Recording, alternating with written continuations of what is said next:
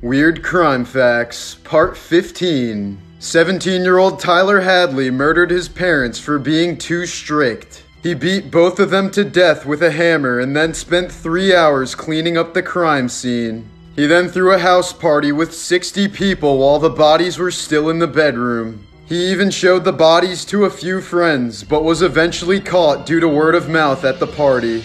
A 70 year old man robbed a bank in Kansas City and then sat down in the lobby and waited for the cops to arrive. He said he'd rather live in jail than with his wife. In 1993, a Missouri man damaged a levee on the Mississippi River simply to delay his wife from coming home so that he could party. Instead, the river ended up flooding over 14,000 acres. The 23 year old man was convicted for intentionally causing a catastrophe and was sentenced to life imprisonment.